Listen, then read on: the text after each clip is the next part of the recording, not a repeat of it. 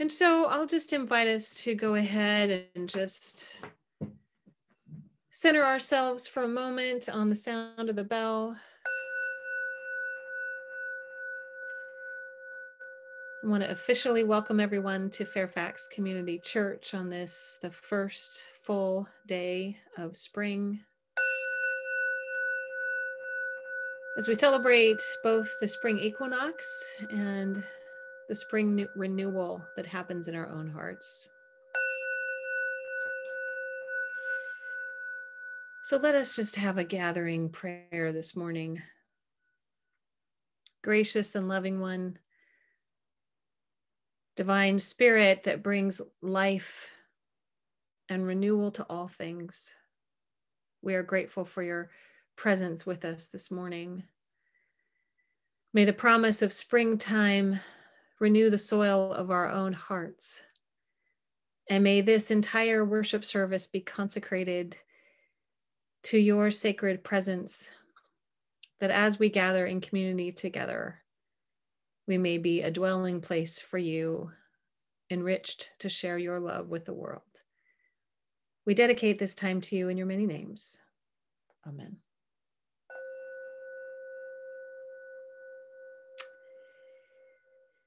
And so, if you have a candle with you, I'll invite us to light our sacred candles together this morning, reminding us that we are indeed connected in spirit. And I am lighting our lotus candle this morning as we will have some special lotus poem, lotus song reminded of the lotus bloom as we are together. And so, as we gather, I invite us also then to say together the call to worship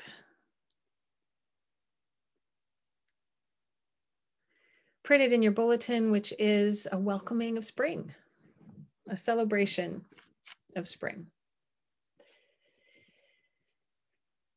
So let us say this together and intentionally feel ourselves welcoming the new light of spring.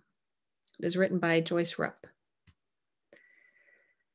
Our planet tilts toward the sun, stronger sunlight and more of it warms our days and our spirits. Let us rejoice. Green shoots push their way up from the once frozen, hardened soil. They have survived the winter and announced their aliveness. Let us rejoice. Seeds that fell from wild plants and hid themselves under leaves now take root and begin to grow, a signal of earth's resurrection. Let us rejoice. People everywhere taste the freshness of spring's brand new arrival. Their grumpiness lessens, and their hearts grow lighter and freer. Welcome, spring. Let us rejoice. So I'll invite us to continue to rejoice as we share together our embodied prayer practice. So if you are willing and able, I'll invite you to stand. If not, you can do this modified where you are sitting. And so I invite us first to once again just stretch up feel ourselves tall like a big spring tree. Pick your favorite. Maybe it's flowering. And then expand yourself and feel your whole body spirit open, bigger than the room around you, and expand. Remembering to breathe and then wrap yourself up again. Give yourself a little hug, pat yourself on the back, and slowly roll over and let your head drop and just swing there a little bit. Whoo, and let anything go that you need to release back down into the earth to become compost. Just let it all go as you swing there and let it become compost into the earth. And then slowly roll up again. And feel your legs again being like roots going down, down, down into the earth and connecting you to the core of the earth. And then feel your arms like branches reaching up, extending towards the sky, towards the light. Feel yourself bringing in some of the sunlight from the sun. And bring that down into your being, that sunlight. And then once again, wrap yourself up and give yourself a hug and just bring it all into your being. And then release anything else down into the earth. And kind of shake yourself down into the earth a little bit. Feel yourself connected and shake anything else that you need to. Maybe shake a hand, shake another hand, shake a leg, shake another leg, shake whatever you're sitting on, shake out your voice. La, la, la, la, la, la, la. And continue to breathe. Just feel your body move around and stretch in whatever way it needs to, remembering that you are a fluid being, actually. Our bodies are more fluid and flexible than we think they are. That means we can also go with the flow, shift with the changing seasons, be part of the movement of growth around us. So just feel yourself flowing for a moment. Breathing as you do. Feel wherever your body needs to move or stretch, flow. And then feel your heart expand. Bring it back in. Feel your heart expand. Bring it back in. And just gather all that up into your heart and your belly as you take a deep breath. Let that center. And then I invite you to imagine, take your one hand and imagine that this hand is a little seed. You feel it form into a ball. What is the potential of that seed? What life force does it want to give birth to? And then take that hand and feel it kind of in your belly. And then as you take a deep breath, just open it up and feel it reach towards the light and expand and grow. And then exhale and let it fall back into the earth. And then once again, put it into a ball and feel your seed self. And then inhale.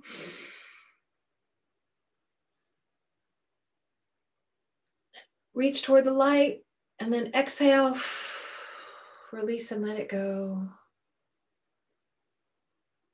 And one more time, feel yourself, your seed self, your fist. Feel it open. Take a deep breath in. Reach towards the light. And then exhale. Let it go.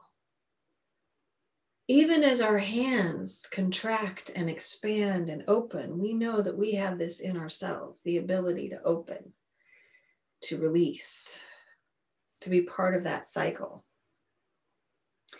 We also have seeds to share, right?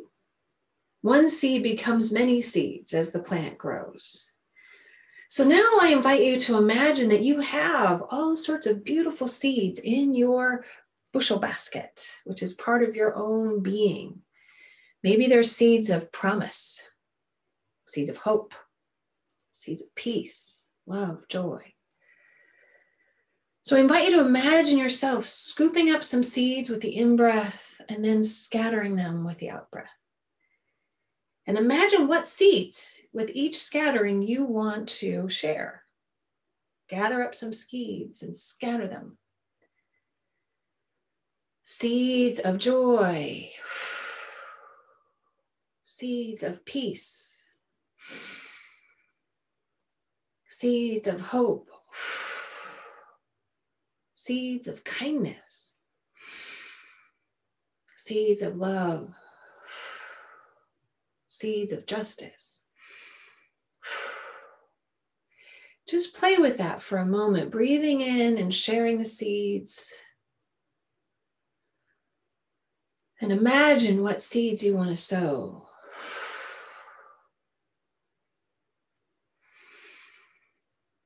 And imagine them being watered and flowered as they land. Being part of the greening, the flowering, the coloring of the hillside as we grow seeds of love and compassion, justice and freedom. So then, once again, take a deep breath and gather all that back into yourself. And exhale. And feel once again these seeds growing inside yourself seeds of love, compassion, freedom, justice that you have to share with the world.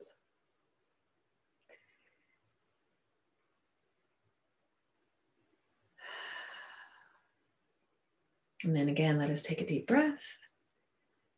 And as you feel ready, you can come back to your seat.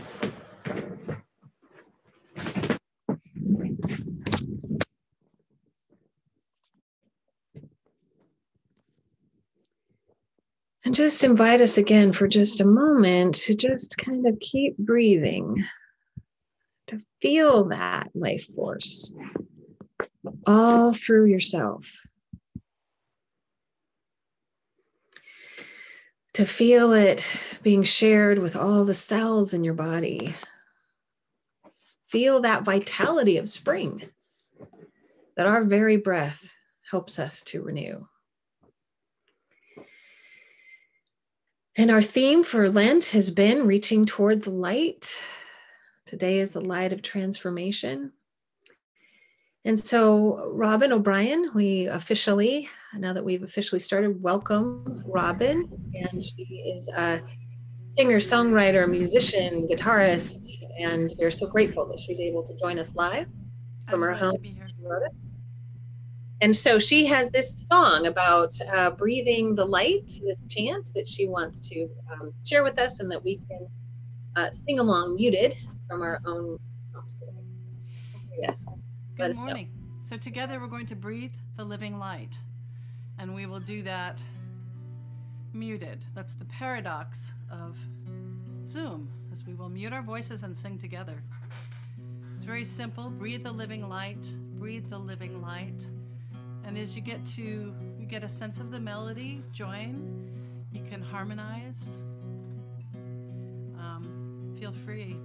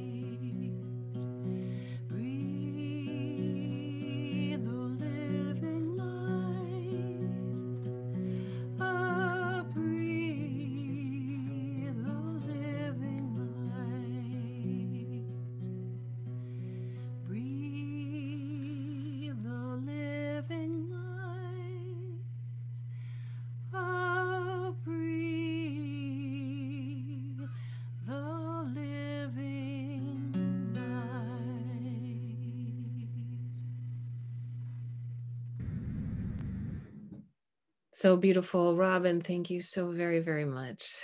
Indeed, a gift. And so I invite us once again to take another deep breath and to feel that living light pour through us. Feel it in your heart, in your soul, in your being. And ultimately, as we breathe this in, I believe this is at the essence of what we share in prayer. We breathe in the living light, and then we share it with others. We cast it out, we imagine it surrounding each of those we love, the places of need in our world, our planet, our society. So let us then continue to breathe the living light as we share our prayers as a community. As is our custom, we will address God however is most comfortable for us, whatever language you use for God, and then share our prayer. And then at the end, simply say, God, in your grace. And we say together while muted, you hear our prayers. So let us share the prayers of the community that we want to lift up this morning.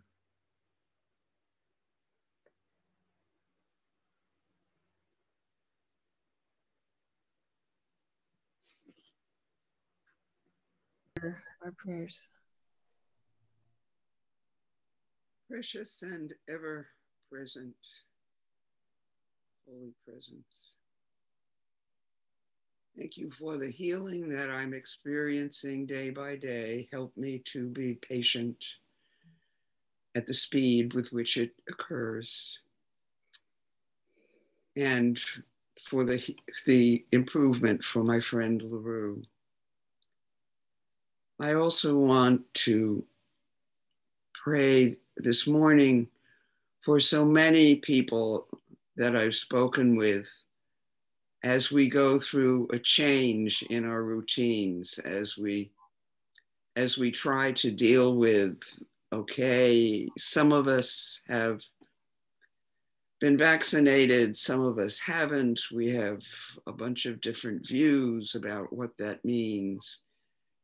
And so many seeing uh, th- that this transition seems so difficult, so many choices, so little clear knowledge. I ask that you help us all to find our way, knowing your presence, knowing there are no mistakes, and that your love is at the source of all that we experience. In your many names, God, in your grace, you hear, you hear our, our prayers. prayers.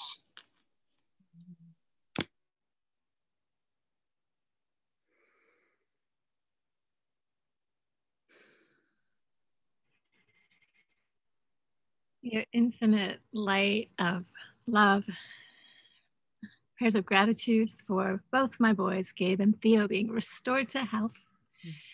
And please bless them with peace and energy and focus as they catch up with their semesters that didn't slow down while they were sick.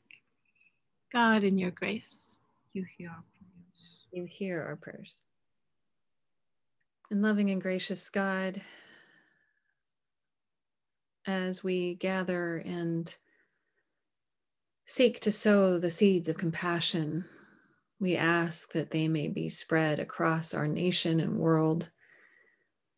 We do pray in a particular way today for the Asian American community, for people everywhere who live in fear of prejudice,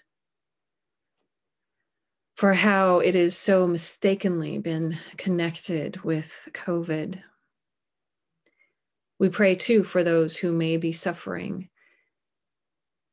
economic consequences of this economic downturn in such a way that makes them want to scapegoat. So we pray for healing, we pray for restoration, we pray for health, we pray for courage, we pray for protection, and we pray that the seeds of compassion, justice, kindness, empathy, and understanding may sow a far greater field of grace. And may that in itself protect those who are most vulnerable, that they can live with confidence and comfort as we continue to walk towards this new birth for ourselves as a humanity. Praying, Great Spirit, for your guidance as we seek to transform ourselves into the best version of ourselves so that we can live in the light. We dedicate all of these prayers and those who have been spoken and unspoken in our hearts, entrusting them to you and your gracious presence today. God, in your grace, you hear our prayers. And so let us continue to pray as we pray the prayer of Jesus. Again, beginning the prayer with the word avun, which is the word that Yeshua used in Aramaic to address God. And you can also use whatever word fits best for you as we share the prayer of Yeshua together. Avun, creator, birther of the cosmos. Your presence is infused throughout all existence. We honor you with many names. Your realm is within the human heart. We accept life for all that it can be on earth as throughout all creation. May we continue to draw sustenance from the earth, and may we receive forgiveness as we seek to forgive others. May we ever move from separation toward union, to live in grace with love in our hearts forever and ever. Amen.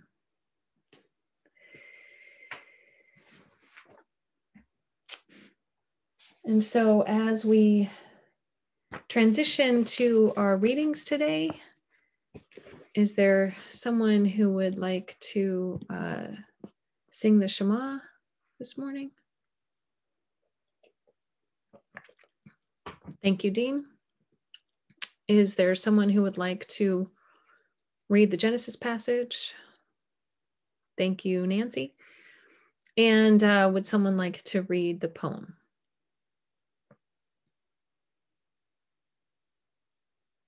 Okay, thank you, Ruth. Great. Please sing after me the words of the Shema. Shema Israel, Adonai Eloheinu, Adonai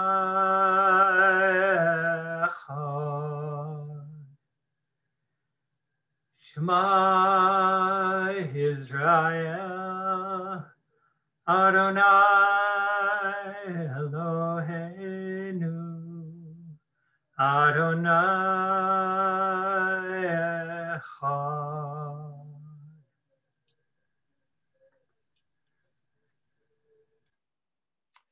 Sacred text number one is from Genesis 17, 1 through 7, and verses 15 and 16.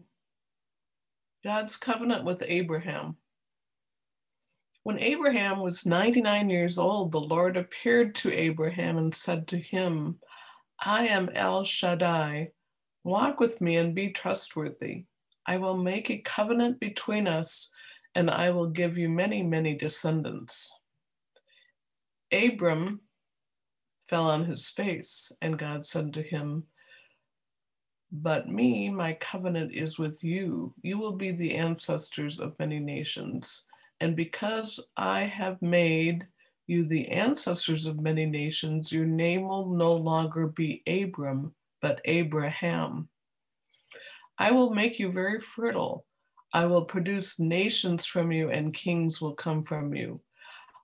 I will set up my covenant with you and your descendants after you in every generation as an enduring covenant. I will be your God and your descendants' God after you.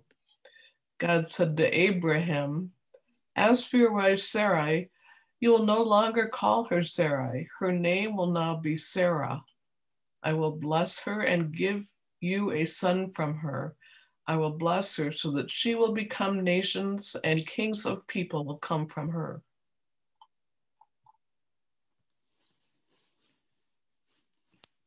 The Times We're Living In by Robin Rose Bennett. It is not so easy to see what is birthing beneath the surface of the world, getting ready to emerge like a newborn crowning as old ways of domination and violation fight to hold sway, a great birthing has begun. The birth of a new way of being in the world, a way of reconnection and shared power, a way of cooperation and love. We are flowering out of the mud of our darkest time of separation, evolving from the time of me to the time of we. This time is difficult, yes, but it is also juicy and joyous. It is not easy to soar through mud but mud is rich and fertile, and out of mud the lotus blooms. Thank you so much for those beautiful readings.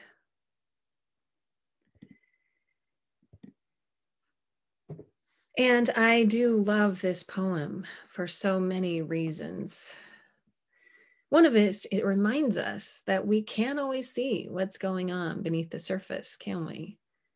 Sometimes something is happening or birthing, and we have to trust and have patience that it will emerge. Hopefully, all of us have, or most of us are tending our little basil seeds, which has been our Lenten project to take basil seeds and plant them in the soil. And you probably had to have some patience as the seeds were germinating. I've had to have some patience too because I forgot when I dropped off all the supplies to Tara to keep some of the soil and seeds and everything for myself. So when I first planted my seed, it wasn't in very good soil and it was dry and I forgot to water it. And so I had to actually toss out that batch and start again. So mine is kind of a late bloomer. I don't actually have any seeds yet. I did go out and buy some special soil and I've tried to do everything right this time. So I keep tending it. Is anything happening? Is something happening under there? I'm very tempted to just dig the dirt around to see, but I know that would probably wreck it. So I'm trying to have patience and hope that something's happening that I can't see, while simultaneously trying to nurture it into new growth. That seems to be the essence of the paradox, isn't it? We're supposed to have trust. We're invited to have trust and faith that something is emerging, while paradoxically at the same time trying to provide just the right nurturing environment for that new growth to actually grow. We can then kind of be like the midwives who are trying to help bring this new birth into being. The other thing that occurs to me about seeds, the miracle really of seeds, whether it be a basil seed or a lotus seed, is that it has to actually kind of let go of its seed self, its own individual seed identity, for something new to be born from it, doesn't it? That seed eventually cracks open and the shoot comes from that. Now, as we know, if the plant keeps growing, ultimately it multiplies itself, doesn't it? It becomes a plant that later flowers that then scatters multiple seeds. It makes more of itself as it allows itself to grow. But first, it has to let go of just its individual seed identity to allow something new to be born through it and from it. I think that shift is part of the transformation, which, of course, as we know, requires trust, doesn't it? We have to trust that in the letting go, something new will be born. It occurs to me that part of what we're trusting in is the very cycle of life itself. Clarissa Pinkola Estes, in her book, Women Who Runs with the Wolves, calls it the life, death, life cycle. And she says that in the West, so often we just cut it off. We truncate one whole third of it and think it's life, death, life, death, when it's really not. It's life, death, life. If we're able to surrender to that part of the process, it will always inevitably lead to the cycle of rebirth in some form. We just might not know exactly what form that will take. To me, this is also the essence of what we celebrate in spring. The darkness and dormancy of winter is not the end. All we have to do is look around. Oh my gosh. There are, the hills are greening and alive. Fruit trees are fruiting. Cherry blossoms everywhere on different kinds of fruiting, flowering trees. The poppies are starting to emerge from the hillsides. Every time it, it never ceases to amaze me. It's like a miracle that out of this kind of darkness and dormancy, new life can return. Maybe that's one of the things we're invited to trust is just the larger cycle itself. Yes, sometimes there is mud. Sometimes the mud can be fertile and nurturing. Sometimes it can be painful. It can be hard. It can be scary. It can be all sorts of things. And perhaps when we're in the darkness of the mud, we're invited to trust that the larger part of the cycle is also there holding us. Maybe that's part of what can allow us to surrender to whatever we're feeling in the mud that allows then the light to come back in, to trust that some kind of rebirth will indeed happen. The other thing that might allow us to trust the process of transformation is to know that even though the seed lets go of part of itself, I don't believe it ever loses its core essence. Its true identity, you could say which is really that the whole plant is always contained inside the seed. Even if we think about a caterpillar that goes through its whole metamorphosis process, even to the point of liquefying inside of that cocoon as it surrenders to its butterfly self. Perhaps part of its caterpillar essence is also there too. Perhaps both are contained inside the other part of the caterpillar self in the butterfly and the butterfly self in the caterpillar. After all, if we look at a butterfly closely, its core is still a bit like an aerodynamic caterpillar with wings. So perhaps part of what allows us to trust in the various transitions of our life is that the core essence of ourselves will still be there, even as we surrender and let go there could be all sorts of transitions that support this kind of transformation that feel like a shift in identity. It might be when we make a major move or move away to college or get married or have a child or change careers or even retire. Those can feel like transformation processes as shifts in identity but we might also connect with the fact that our core essence is still there, even with these external changes that happen. There might be more subtle shifts as we let go of an old belief system to embrace a new paradigm. I think we see this around us in society as a whole. as we go through this process of transformation, seeking greater enlightenment and justice, sometimes there is a bit of mud, tension, discord in that process. And hopefully, there is also the core essence of seeds that are still there humanity, kindness, compassion, that all link us together as children of God. It occurs to me that this is true, this connection to the core essence of identity, and the various name changes that happen in the Bible that also represent transition and transformation. We noticed this last week when we talked about the transition of Saul to Paul. You could say he let go of his seed self identity, which was him as a single person that was at that time caught in a paradigm of persecution. And he allowed himself to expand when he broke open on the road to Damascus and then became a flowering plant that spread so many seeds to so many people throughout his ministry. He surrendered to a larger call, a larger vision that God had for him. It occurs to me when we think about his name change from Saul to Paul, there's in English anyway, there's only one letter difference. It's a total shift in identity for him. And yet, maybe there was some part of the core essence of him that was always there, that's still there in that transition. We notice the same thing is true for Abraham and Sarah.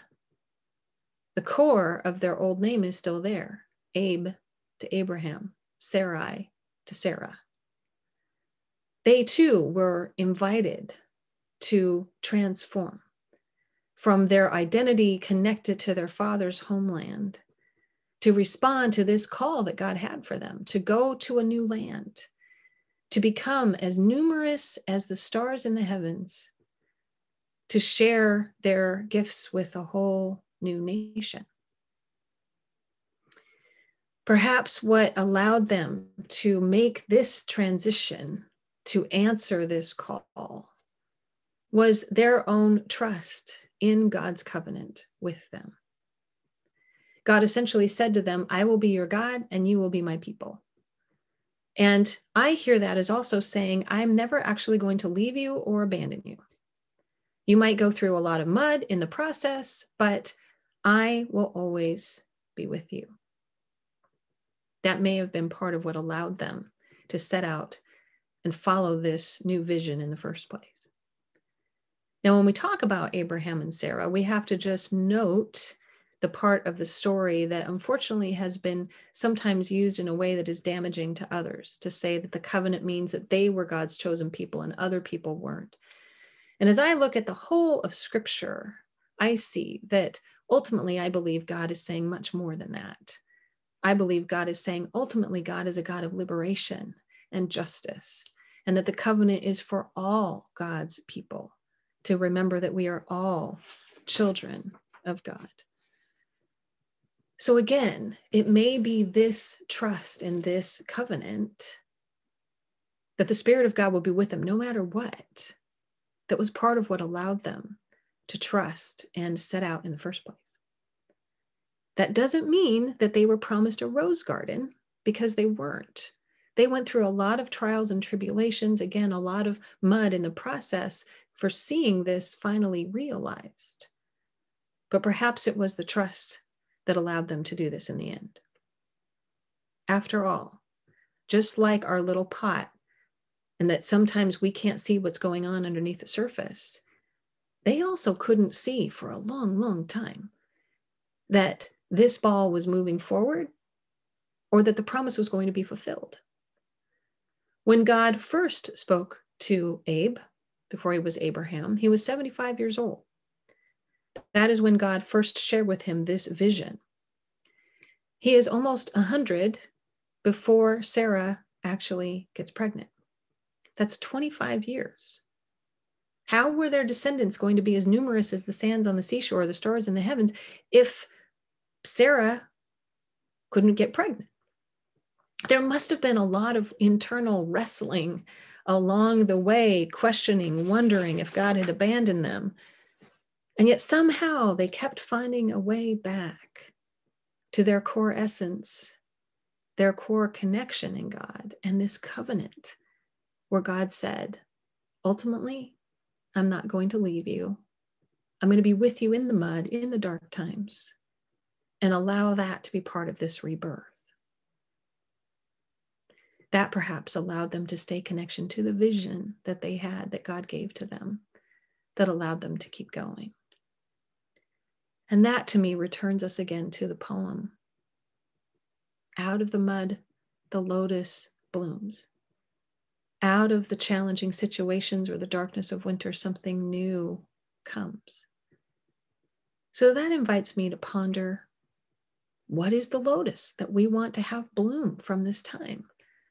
Whether it be from this last year or just this last season, and how can the hope of that vision move us forward? And how can trusting that God will be with us in it, even just trusting the larger life cycle of spring and winter, life, death, life, give us hope as we are the midwives of the new beginning? So I invite us actually just to take a moment to ponder those questions. If you are willing, I invite you to just close your eyes for a moment and just take a deep breath. And to first let all of those images settle. The image of the seeds sprouting, letting go of their own seed identity, answering to the call of something larger than themselves.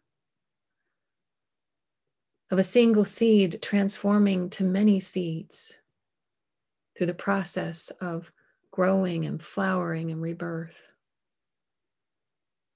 To our core essence being retained even when we go through transitions, even an identity shift and a name change.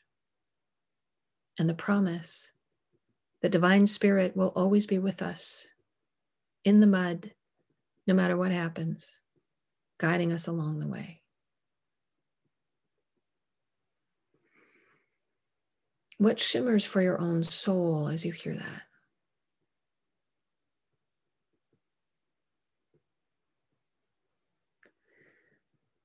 And what lotus flower do we want to see blooming for ourselves, for the community, for our nation, for the world? What butterfly wings do we want to grow? Do we hold the vision for that also moves us forward?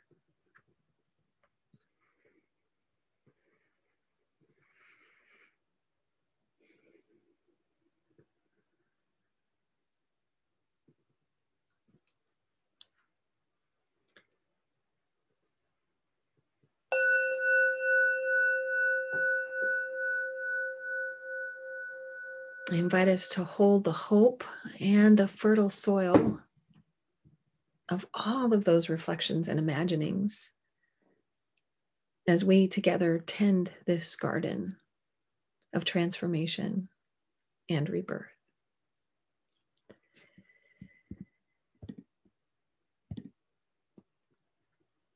So, taking a deep breath and then once again let it in out on an extra long sigh. Notice whatever you're noticing in your own body, where you feel it in your body. Allow yourself to savor and have that. And then, as you feel so moved, as is our custom when we share the wisdom of the community here together, if there's something that you would like to share, I invite you to raise your hand and then unmute yourself and we can share that together. Yes, Ruth.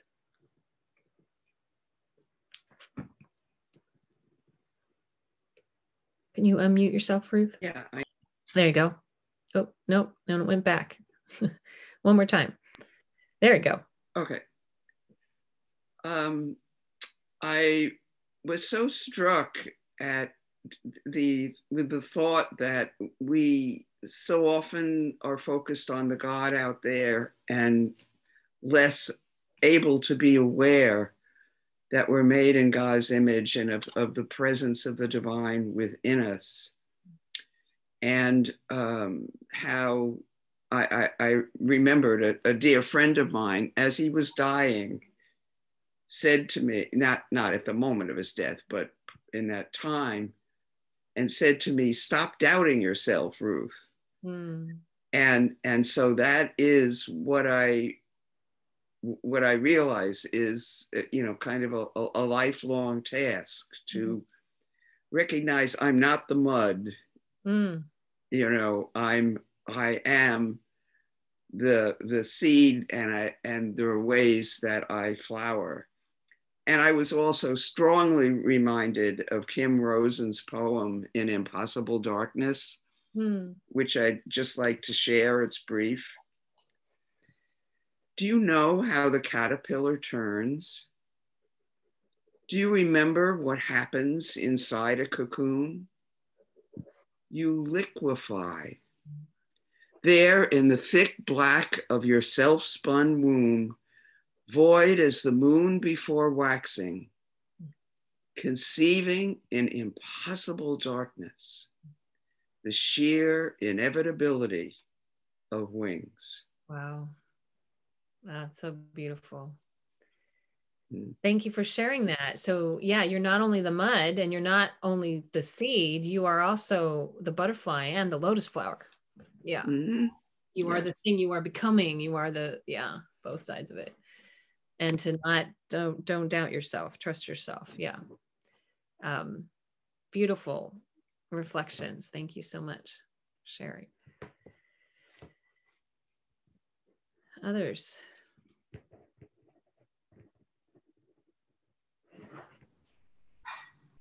Yeah. Who's that? Yeah, Lynn. I see Cindy can too, but you get to be next, Cindy. um, a couple of little things. First of all, you opened with your story about how you messed up with your plant. And I have to tell you, I was laughing out loud. I, I just enjoyed that a lot. And then at the very end, what you did, um, and I think you did this last week too, was to kind of recap your sermon for those of us with short little attention spans, I want to say I mm-hmm. appreciate that. and um, but the more important thing, I guess, I want to say is that you know this is sort of for me and for those of us who are on who are on Oasis a continuation of looking deeply into that poem and into this theme, and um, and I really really appreciate that. It's um, it's a big one for me, and um, one of the things that I am I'm struck by and that gives me um, mm, I guess hope, a good feeling is that I love that I can be part of a, a church where planting seeds, where we can spread seeds a little farther than I can do it on my on my own. Uh, I, I, that's big, really. Even even though we're a little tiny church, you know, we we multiply what we can do by uh, doing it together, and that's also, uh, you know, in some way why I got involved with MOC in the first place. So, um, I just wanted to lift those things up. Yeah. Again. It's such an important point. Uh, that's true. Whenever we are in community, and especially spiritual community or an intentional community we multiply our seeds absolutely and and we and we once again as this church community and as the church community is connected to MOC because we really give thanks to all the work that MOC is doing um, for justice and to sow those seeds of justice and compassion in our local communities in the world. And so we really thank you um, and everyone involved in that. And just for that reminder just by being part of this community, we are part of a greater reservoir of seeds. Yeah, thank you. Cindy. I'm loving, I'm just loving the theme that we have this Lent. Um, the power of nature mm. speaks to me so much, and I lived in it so deeply in my childhood. And the the reassurance of spring and that it always comes and you wait a mm. year and and I was thinking about learning as a gardener you have to be patient because you plant something and you have to use your imagination to know what it might look like in a year oh, and the awful uprooting for me of leaving my gardens behind. But you know that I can bring things with me, and I I do have the potential of seeds that my grandfather grew. You know that they can be passed on. Mm-hmm and that's so powerful. And I was thinking of the sermon today about how a little seed can make such a difference. And we can make such a difference in little ways, mm. just little things like when I let someone come in when I'm driving and I let someone join the road that's waiting on a, that makes me feel happy. Um, mm-hmm. It makes me feel happy. and when someone does it for me, I feel happy and I'm more likely to do it again. And we sort of spread kindness mm. like that. Mm-hmm. And I and the ripples can go on and on. And I often have patients say to me, You mm. have me be a better mother and now i can be a better mother and then they will be able to be better parents and mm. you know the ripples that go on and on and on in the seeds we sow and i have one other mm. memory if you if you don't mind me talking too much but um i used to run groups for very deprived children in mm. the worst parts of london mm. and i i ran a group often growing seeds, and we would grow cress. And it was amazing how many times, even though I would explain it and explain it, when it came to the day when we were going to make sandwiches, they were horrified. I can't mm. eat that. That's not, I'm not eating that. That's grown out of dirt. Ugh, I mm. can't eat something that's come from dirt. Mm. And we just miss so much if we don't understand about the cycle mm-hmm. where they come from and how it all works. Mm-hmm. yes indeed. And look at all the seeds you sowed to them and right in teaching them about that. I'm sure they have gone on to remember that and to have more of a connection to the earth now. And um that i love also what you're lifting up that we we can never know sometimes. Sometimes we don't always see the fruit of our seeds but we might still have planted them. But also just that every little everyday kindnesses um the, that we forget the power of those um, and the ripple effects that they have. And that's a important reminder for all of us. We we are all seed bearers in in ways that we may not always think that we are. Yeah beautiful. Thank you so much cindy. Others.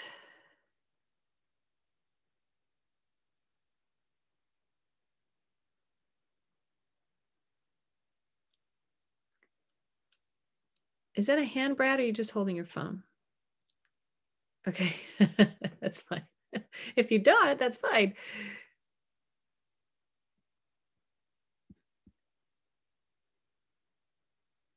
Um, I'm just holding my phone. Sorry oh. about that. Right, yeah. problem at all. I just want to make sure. Yeah.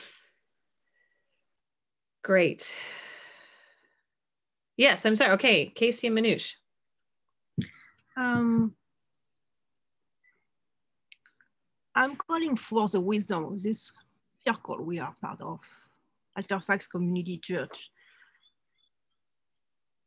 It's been about over 20 years that I draw seeds, sprouting seeds everywhere, everywhere, even on murals and my notebook, everywhere. Sprouting seeds are part of what I draw when I just doodle, you know.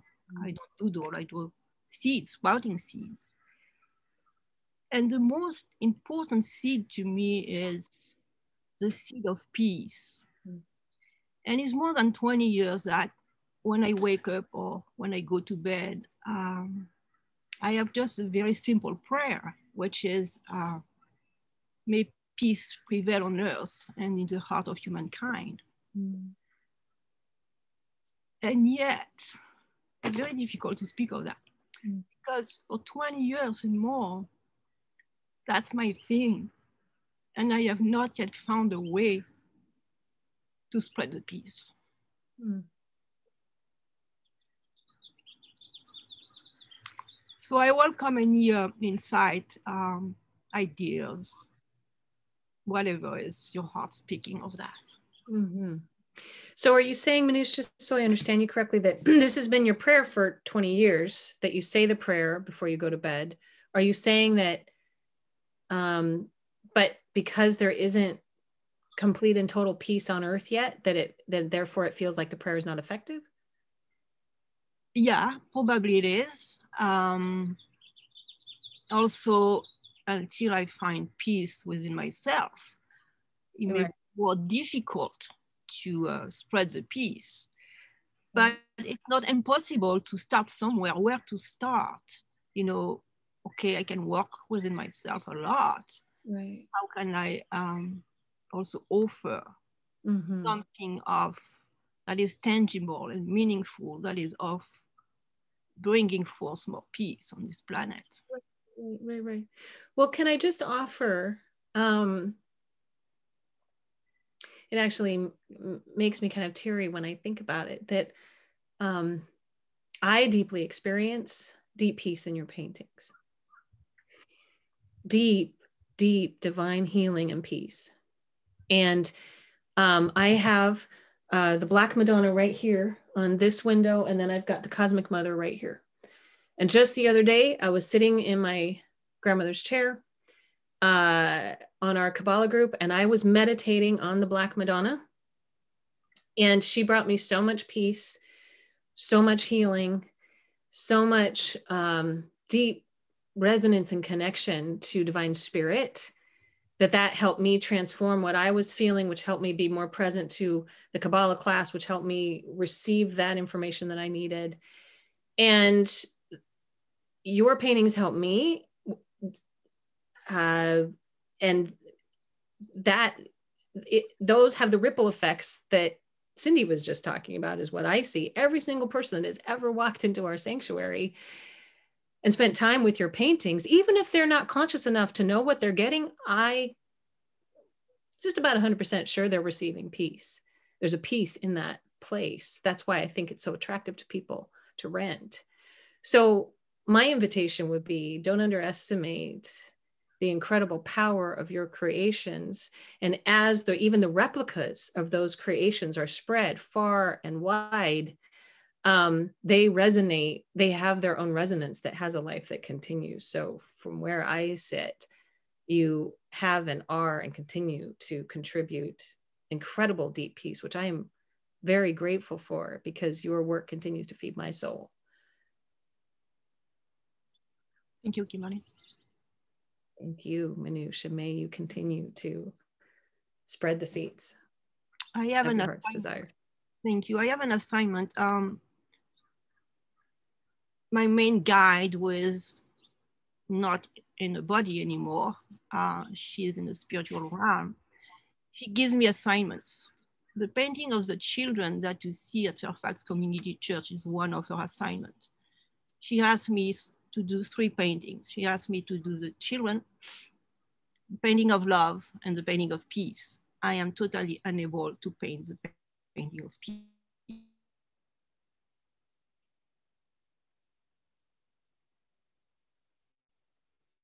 Thank you. Um, okay, can we hear you now? You froze up a little bit about after the painting of peace. Can anybody else? I see other people moving, so it looks like maybe your screen is frozen. Not anymore. Okay, there we go. Good, good. So you, so you, you have so far you have been unable to paint the painting of peace. Is that what you're saying? All right. Okay, but then I also know that you've shared that you did paint the peacemakers, right? The grandmothers that were the peacemakers, right?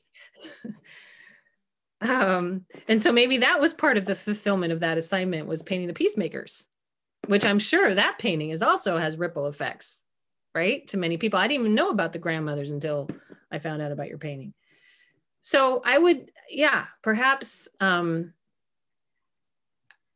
uh, maybe there is more of that um, in what you and what's already within you.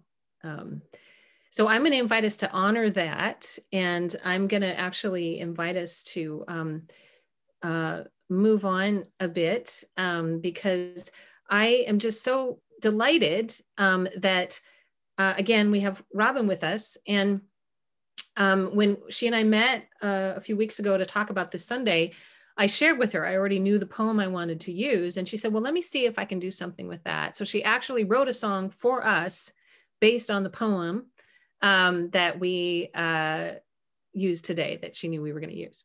So again, such a treat and a delight to have you live, Robin. And so I invite us to continue to envision as we hear her singing and the, the words are a little bit further down in your bulletin, um, to continue to imagine what we want to envision um, giving birth to as we,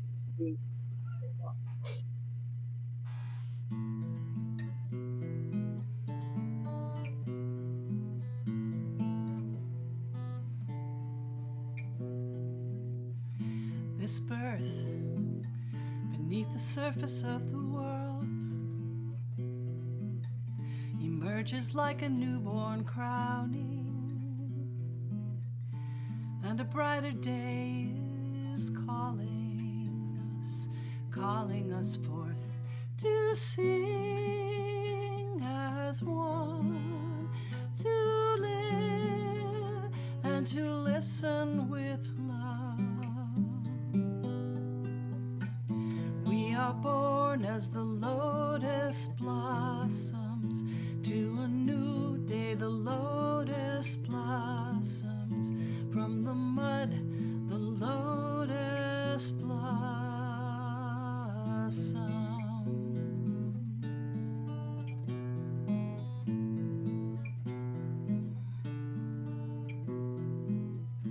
This way is a new cooperation and the darkest time of separation is falling behind.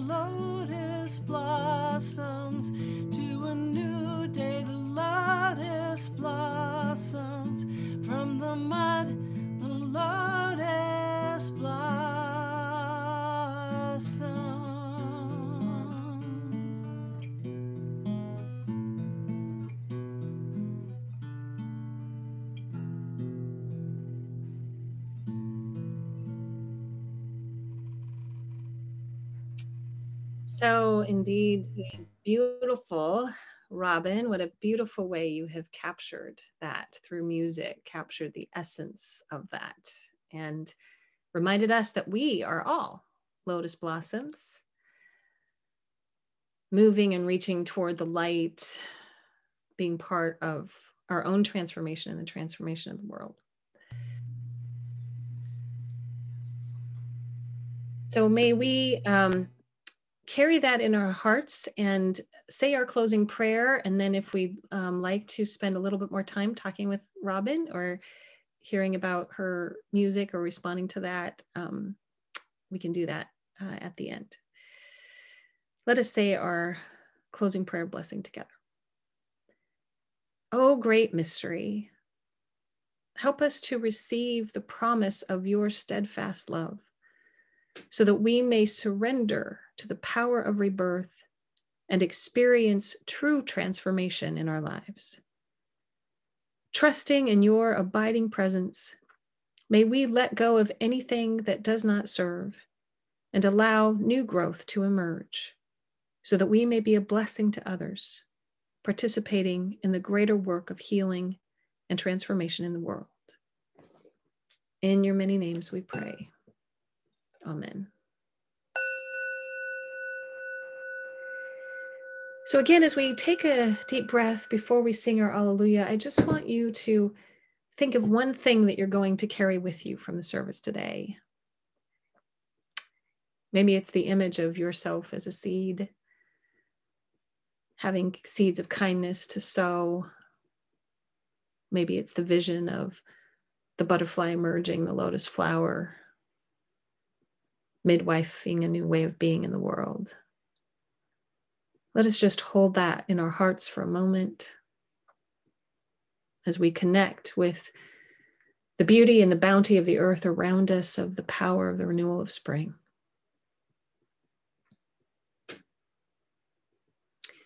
Trusting that we carry the light into the world as we go from here. So let us then sing together our uh, closing song, Alleluia, imagining that we are standing in a circle, holding hands, lifting up them up together at the end. Alleluia, Alleluia, Alleluia, Alleluia. Alleluia.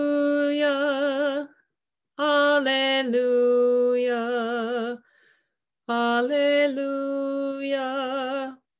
Alleluia.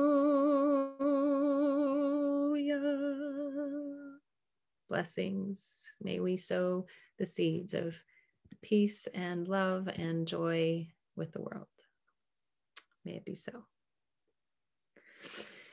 And so, um, as we we want to um, uh, share any announcements quickly before we log off, and then have a little bit uh, moment uh, with Robin, and we just want to share that as we know. Um, next week will be our beautiful, wonderful contemplative arts service, and we are so excited about that. And then we will, right after that, we actually enter into Holy Week, and we will have a, a Wednesday evening service on Holy Week. I'll send out a little more information about that, but we're going to be looking at the story of Mary Magdalene, um, anointing Jesus' feet, and the preparation for Easter. And then, of course, April 4th itself is Easter. Feel free to invite any friends or relatives, even if they're long distance, you might want to um, share in that special occasion. And then this week, this Wednesday, we also have our book study. And um, did you want to say anything about that, Tara?